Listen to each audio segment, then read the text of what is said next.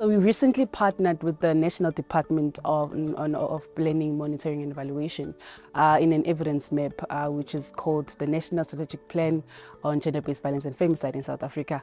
And I think uh, partnering with PEERSS really allowed us to create sort of a co-production in which um, as us as the method experts sort of partnered with the Department uh, of Planning, Monitoring and Evaluation and also the Department of Women itself. And we created this evidence map to inform um, um, this uh, uh, framework that exists uh, in SA uh, to fight against the scourge of gender-based violence and femicide uh, in, in, in SA. and it's quite instrumental in a sense that um, it really uh, shows the, the value of co-production because uh, there's, there's very uh, a good chance that that evidence base will be used. Uh, we presented the evidence uh, base to a, a, a, group called the Pillar 6, which is uh, Pillar 6 would be set up by the National Strategic Plan to oversee uh, knowledge management and research. So there's a committee that is set up uh, to sort of uh, guide that particular um, pillar and we did present the work to them and they really received it quite well. So I think it, it really points to the importance of co-production and involving uh, the end user in the process of uh, um, developing evidence. The first thing we do in any project, any knowledge translation product is map stakeholders from diverse backgrounds with different power balances there to put everyone in the same table. And from the problem definition, prioritization, uh, the, the choice about how we'll frame it to look for evidence, the validation of what we found, everyone is in the table all the time during the process. Our portfolio gets bigger every time we engage more people and in this process people get uh, awareness and they are sensible to the evidence-informed decision-making debate.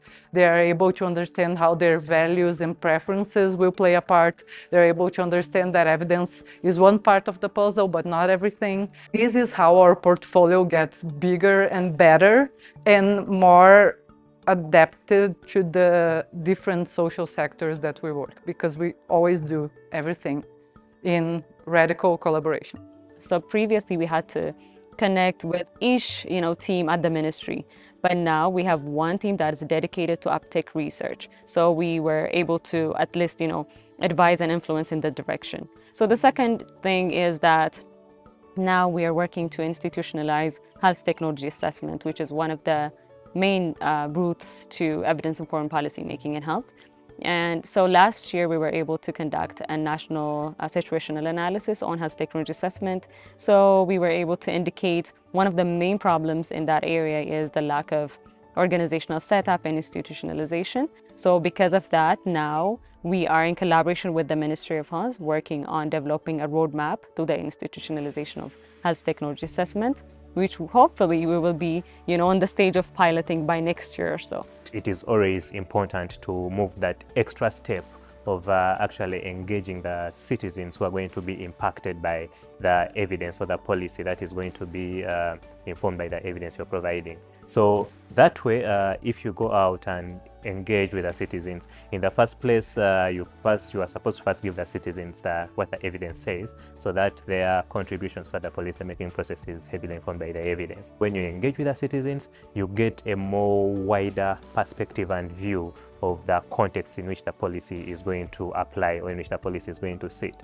So that way you, you, you, you're more like striking the balance between what the evidence says and um, what the citizen input is and all these things are coming into play to uh, inform the policy decision that is going to be taken.